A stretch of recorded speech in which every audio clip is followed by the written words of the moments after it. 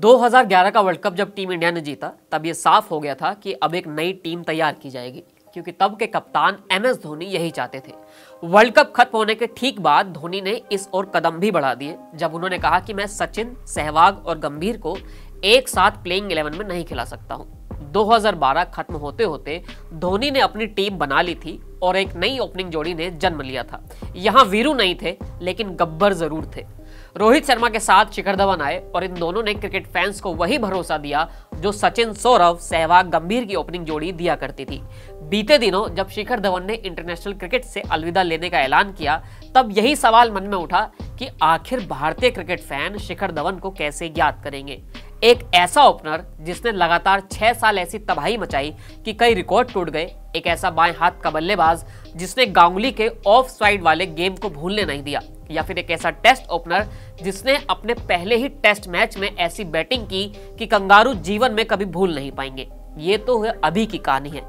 लेकिन शिखर धवन काफ़ी पहले से क्रिकेट की दुनिया में छाए हुए थे। 2004 के अंडर 19 वर्ल्ड कप में शिखर धवन ने तीन शतक बनाए थे और 505 कुल रन बनाए थे। तभी से उनके चर्चे थे। दिल्ली की टीम में गंभीर और सहवाग खेला करते थे तो तीसरा बड़ा नाम शिखर का ही था। अपने ऑफ़ साइड के गेम की वजह से वो लगातार सुर्खियों में रहे, लेकिन टीम इंडिया में एंट्री थोड़ी लेट मिली, क्योंकि तब की टीम इंडिया वैसे ही काफ़ी बड़ी और मज़बूत थी। 2010 में जाकर शिखर धवन को मौका मिला, लेकिन रन नहीं बने तो वो बाहर हो गए और फिर सीधा तीन साल बाद ही जगह मिली। और फिर यहाँ पर आया वो वाला टेस्ट मैच, जिसका ज़िक्र हमने शुरुआत में किया था। ऑस्ट्रेलिया टेस्ट सीरीज़ खेलने के लिए भारत आई हुई थी। टेस्ट सीरीज़ में मौका दिया गया शिखर धवन को। मोहाली में शिखर धवन का डेब्यू हुआ और उन्हें वनडे के डेब्यू की कसक यहाँ पर पूरी कर दी। शिखर के बल्ले से सिर्फ़ पिचासी बॉल में टेस्ट सेंचुरी निकली और कई रिकॉर्ड टूट गए। इसके बाद शिखर धवन की किस्मत बदल गई थी। धोनी ने फिर उन्हें वनडे टीम में बुलाया। आईपीएल में फिक्सिंग के बाद जब टीम इंडिया चैंपियंस ट्रॉफी खेलने के लिए इंग्लैंड पहुँची थी, तब धोनी ने धवन और रोहित को ओपनिंग पार्टनर बनाया और उसके बाद जो हुआ, वो तो आप जानते ही हैं। भारत ने वो चैंपियंस ट्रॉफी जीती, शिखर धवन उस टूर्नामेंट के हीरो थे, उसके बाद शिखर धवन नहीं रुके। वनडे वर्ल्ड कप 2015 हो या फिर फिर से चैंपियंस ट्रॉफी 2017 शिखर धवन भारत के लिए आईसीसी ट्रॉफी के हीरो थे। 2019 का वर्ल्ड कप भी कुछ ऐसे ही शुरू हुआ था, जहाँ धवन ने सेंचुरी मारी थी, लेकिन बाद में उन्हें चोट लगी और फिर वो बाहर हो गए। बस 2019 वर्ल्ड कप के बाद से शिखर धवन के लिए चीज़ें बदल गई थी, क्योंकि अब टीम इंडिया का निज़ाम बदल चुका था और उसके बाद चीज़ें फ्यूचर के हिसाब से आगे बढ़ रही थी।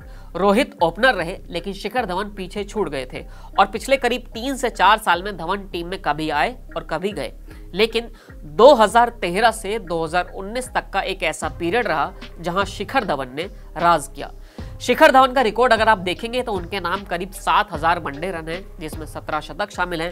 टेस्ट में भी 2500 रन और टी में 1800 के करीब रन हैं। रोहित शर्मा के साथ शतकीय ओपनिंग साझेदारी हो या फिर बतौर ओपनिंग पार्टनर सबसे ज़्यादा रन हो, शिखर धवन उस रिकॉर्ड लिस्ट में हमेशा शामिल रहे हैं, जहाँ पर उनका नाम हमेशा टॉप पर रहा है। 2013 से 2019 तक हर जगह रिकॉर्ड देखेंगे तो धवन के आगे करीब 50 की औसत से रन होंगे, दो तीन शतक भी लिखे होंगे।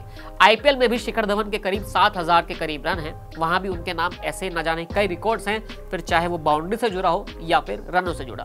शिखर धवन एक ऐसे सितारे रहे जिन्होंने कम समय में टीम इंडिया के लिए कमाल किया और कई रिकॉर्ड अपने नाम किए। लेकिन अपनी निजी ज़िंदगी में धवन ने कई तूफ़ान झेले, अपने बच्चों से दूर हुए, लेकिन इन सब के बावजूद उनके चेहरे पर हमेशा एक मुस्कान रही और वो अपना काम करते रहे।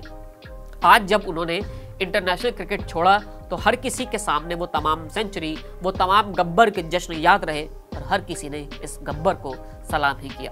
फ़िलहाल इस वीडियो में इतना ही, फिर मिलेंगे नई वीडियो के साथ। शुक्रिया।